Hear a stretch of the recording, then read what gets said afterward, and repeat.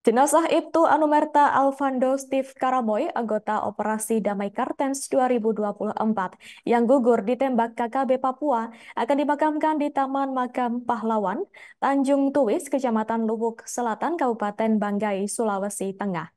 Menurut Kasih Humas Polres Banggai, Ibtu Al-Amin S. Muda, Bribtu Anumerta Alvando Steve Karamoy akan dimakamkan pada Senin 22 Januari 2024. Untuk informasi selengkapnya akan dilaporkan langsung oleh rekan wartawan Tribun Palu Asnawi Sikri.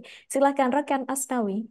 Oh, hari ini telah dilaksanakan pemakaman Bribtu Anumerta Alvando Step Armoy yang dilaksanakan di Teman Makam Pahlawan, uh, Tanjung Tuis, Kecamatan Luk Selatan, Kabupaten Banggai, uh, Sulawesi Tengah.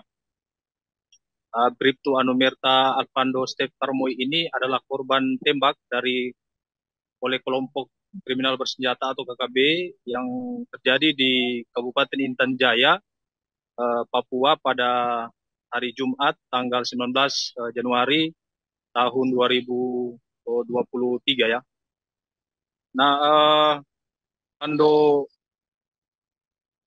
Steve Karmoy ini ya uh, tiba di tanah kelahirannya yaitu pada hari Minggu kemarin tanggal 21 Januari 2024 dan dijemput oleh uh, rekan sesama anggota BRIMOB dan keluarga dan diwarnai dengan isak tangis dari pihak uh, keluarga ya.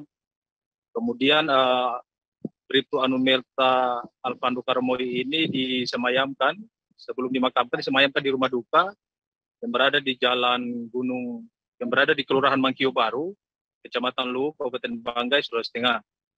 Nah, menurut keterangan dari uh, Komandan Resimen 3 uh, Pelopor Korps Brimob Polri, yaitu Komisaris Besar Polisi Wahyu, dia menyatakan bahwa uh, Bribtu Anumerta Alvando Step Karmo ini adalah uh, anggotanya yang bertugas di sebagai personil uh, Satuan Tugas Damai Kartens 2024 di yang bertugas di Kabupaten uh, Intan Jaya. Ya.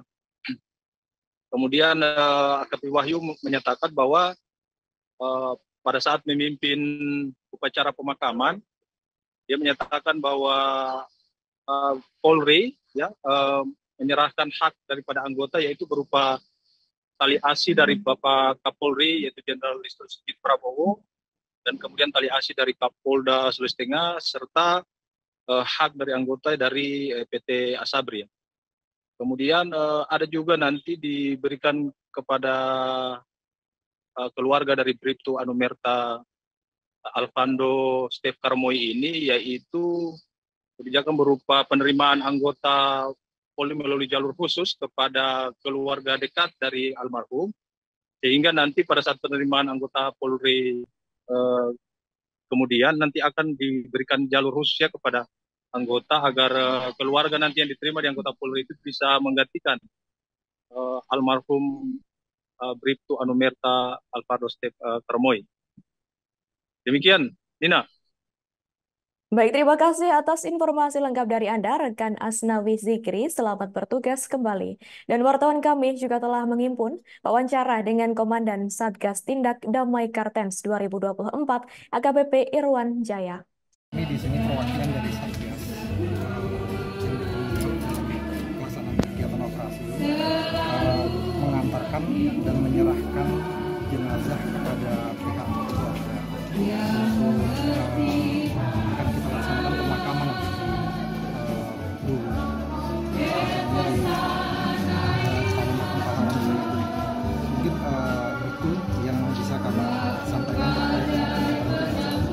Mungkin ada uh, sedikit imbauan kepada eh, teman-teman uh, almarhum yang sedang bertugas mungkin di luar sana. Uh, semua masih operasi masih berjalan, investigasi masih berjalan. Jadi uh, nanti kita ikuti saja prosedur sesuai dengan uh, perjalanan kegiatan yang dilaksanakan dalam operasi. Download Tribun X sekarang, menghadirkan lokal menjadi Indonesia.